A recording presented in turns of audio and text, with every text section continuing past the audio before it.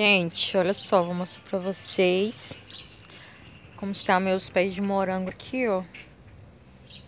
Tirei eles de outros lugares, que ele não se deu bem lá, então eu passei ele pra cá, ó. Olha só como está, tá cheio de guiazinho, ó. Cheio de bastante novas mudas.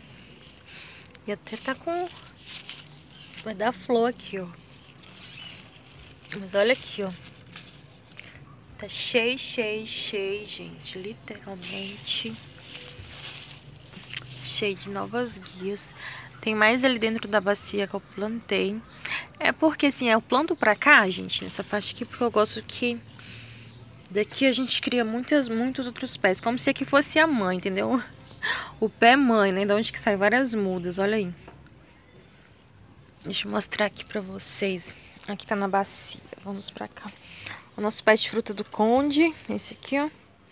Tá com algumas frutinhas, mas vamos... Aqui, ó.